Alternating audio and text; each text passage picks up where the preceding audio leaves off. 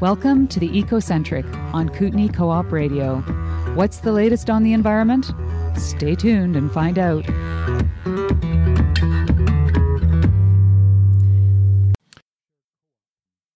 Back in October, the narwhal.ca, which is a great environmental online magazine, wrote a, a, a, couple of exposes on the new wood pellet energy industry in BC, showing that the government is now allowing wood pellet businesses to move move beyond using the waste wood they said they would, and uh, the waste wood and slash uh, to make pellets. Whole cut blocks of trees are set to be ground into pellets to be incinerated uh, uh, in English and Asian electricity generators. They call it biomass and they say it's renewable. Uh, but Michelle Connolly from Conservation North in Prince George points out primary forests are not renewable, and this is not really the green technology that they're talking about. We called her up to find out more about the wood pellet industry. Hi, Michelle. Thanks for coming on the Ecocentric today. Thank you. I think I've reached you in Prince George. Yes. And that's sort of the provincial capital of uh, BC's wood pellet industry, isn't it? Uh, I guess it's becoming that. Wood pellets has really been growing as an industry, and, and that's happening uh, quite a bit around Prince George right now, isn't it? Yeah, there are a few um, pellet plants here and in a handful of other places in the central interior and north. This has been called uh, uh, using uh, waste wood and using it for energy. Sometimes it's called biomass energy. Is that uh, um, is that a good characterization of it? Is it is it biomass energy? That's um, what some people call pellets. Yes, I think the umbrella term I've also heard is bioenergy, um, and uh, so pellets are part of bioenergy. But that term also encompasses other, I guess, sources of energy that aren't fossil based. So things like municipal waste and agricultural waste also fall under the umbrella of bioenergy. But un- unfortunately, pellets, I believe, and, and biofuels also do. And yes, biomass, I believe, is like solid bioenergy. And who's, who's, where, where is Canada selling these wood pellets to? Um, there are a couple of companies here that have secured long-term contracts with companies in um, um, Asia. Um, BC accounts for about 49% of Canada's pellet industry, and the biggest markets in 20 in 2018 for pellets from BC were the United Kingdom, Japan, the Netherlands, South Korea, Belgium, um, the U.S., Singapore, and Taiwan.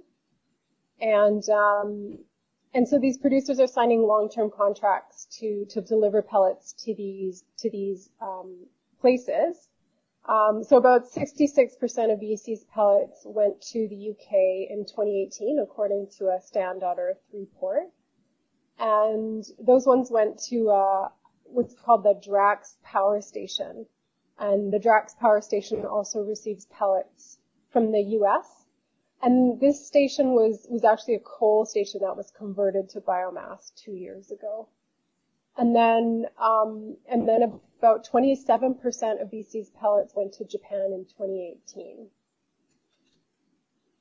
It's a, it's a lot and it's been pretty heavily subsidized by our government, hasn't it? The industry, pellet, wood pellet industry. Um, yeah, I, I do see some signs that it was subsidized. There was a story in, actually this past summer about a, a grant of about $440,000 from the Forest Enhancement Society of BC to the Terrace Community Forest. And it was kind of funny because the, the, you know, the name, the title of the press release said that the purpose of this was to help the terrace community forests cut their greenhouse gas emissions, but you read the article and it's actually, the funding is just to grind waste wood to send to Skeena's bioenergy um, pellet plant in Terrace, where they'll make the wood pellets.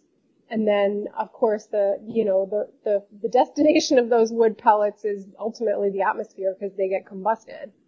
So, um, so yeah, it's not really about reducing greenhouse gas emissions. It's just about kind of like dealing with wood waste. But it's packaged in a way that makes it sound green. now the uh, another major question around this wood pellet industry is that it's it's being built and sold by Premier John Horgan, among others, as a good way to use forest waste, sawdust and slash from from the forestry industry, uh, and turn it into something uh, useful. Um, but that's becoming more controversial uh, this year, isn't it? Yeah, you know, we came across um, signs that old hemlock forest was destined to to for the pellet plant here um, to be logged by a company called Pacific Bioenergy. So they were given something called a hemlock supplemental forest license, and of course hemlocks in the interior are part of the the interior uh, rainforest, which we have here and is a very at-risk ecosystem. And, um, you know, it's been subject to intense logging for conventional products like saw logs and pulp for the last 60 years. And now there's this added pressure. Um, and so that really concerns us. So yeah, uh, when it when it comes to industrial forestry, the BC government's messaging now is all about clean growth and the bioeconomy, which sounds good, but has the potential to be really bad for nature, ironically. And so they're, you know, they're couching more logging of primary forests in language around, you know, the, the words you'll hear are things like efficiency, utilizing waste, greenhouse gas benefits, which all sound really noble, right? Um, but from our perspective, uh, if they're sourcing, if the raw material for any of these products is coming from primary forests, then it's not clean or green or renewable in any way, shape, or form because logging primary forests is not renewable. Primary forests, by definition, uh, are never are never coming back. So, um, so yeah, pellets and and biofuels, liquid biofuels, are part of this packaging for you know more industrial logging for the climate. Um, we uh, there's this recent presentation by the chief forester Diane Nicholls on on the quote bioeconomy and um, her wording in the presentation here it's on a slide that I just downloaded off the internet said forest management addresses the role of forest fiber in mitigating climate change as part of ecosystems as an element of wildfire risk and for its economic value. As we strike a new balance, we can waste less, use more, and realize more value. So what she's saying, what she's trying to argue here is that more logging is basically a climate solution. Somehow it's beneficial to nature. Somehow more logging helps us deal with wild, wildfires. And it's really the ultimate greenwash because as we're seeing, they've granted permission. Um, you know, we know in, it's in the annual allowable cut rationale for the Prince George TSA from 2017 that they, you know, Western hemlock stands, for example, were identified as a bioenergy opportunity. And of course, those are, those are primary forest stands. And they're, they're considered, you know, low productivity, non-economic stands because you can't turn them into, or at least no one's, you know, interested in turning them into things like saw logs or pulp necessarily. So, so they've got to be used for something. And, um, and and that's what really terrifies us is that the few what, what is that there's this pressure to log the last primary forest for this purpose and then it goes into boats across the ocean and burned and up into our atmosphere. Yeah, yeah, that's that's a huge part of the problem. And of course, you know, in a global economy, there is essentially infinite demand for this. You know, if you don't if you don't actually tackle the the demand for these these these products, then it's going to be really hard to stop what's happening here. Um, but that is something we have to do. The BC government needs to you know, stand by their, their recent announcement that they're going to implement the recommendations of the Old Growth Panel report, um, and protect old forests. Um, but, uh, we also need to protect all natural forests as well, and that, so everything ought to fall under the umbrella of primary forests, really, because you can, you can turn, you know, you can turn a burned forest or, you know, a beetle killed forest into pellets and biofuels and those forests are actually just as important ecologically um, as as other types of forests. So I'm I'm really we're really concerned that this new industry is going to really open the doors to to log all the last primary forests or natural forests. And, and we think they should simply be focused on areas that have been met or, you know, converted from primary forest in the past, if they're going to be sourcing them from BC.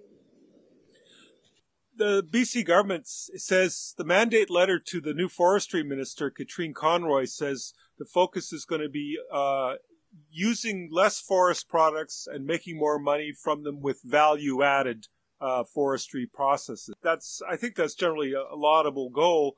Um, but does wood, could wood pellets fit into that category of value added really?